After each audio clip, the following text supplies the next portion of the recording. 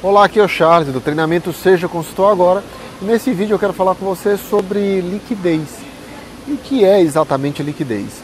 Olha, liquidez é a capacidade que um bem tem de se converter, de ser conversível em dinheiro vivo.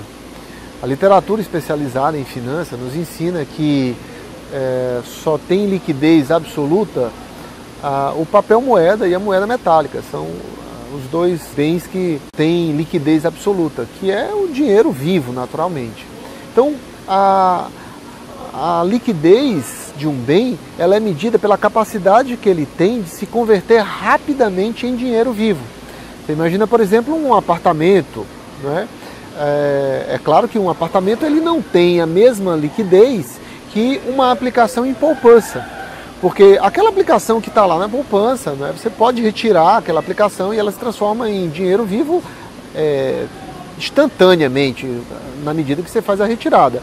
Já o, o apartamento ele leva um tempo né, para vender. Você sabe que quem já tentou vender aí um, um imóvel sabe que leva um tempo até você encontrar uma pessoa que tem o interesse de pagar por aquele bem o valor que você está pedindo, né, aquele valor que você pretende é, obter com a venda daquele imóvel.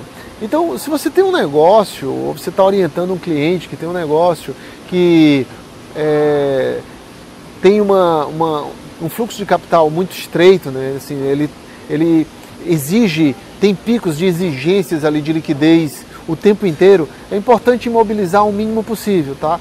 manter aplicações em, em bens que tenham é, alta liquidez preferencialmente nos CDBs, nas aplicações de poupança, coisas que possam ser convertidas em dinheiro de forma muito rápida, tá? Quando você aplica no imóvel, por exemplo, vai haver uma dificuldade, então uma aplicação imóvel ela tem baixa liquidez porque não é da noite para o dia, né? assim, não é em questão de horas ou minutos que você consegue converter um bem desse em dinheiro vivo. Então, liquidez é isso, né? é a capacidade que um bem tem de se converter rapidamente em dinheiro e se esse vídeo fez sentido para você, eu espero que você tenha gostado, né? E se fez sentido para você, deixe seu comentário aí. É, deixa eu saber o que é que você achou desse vídeo.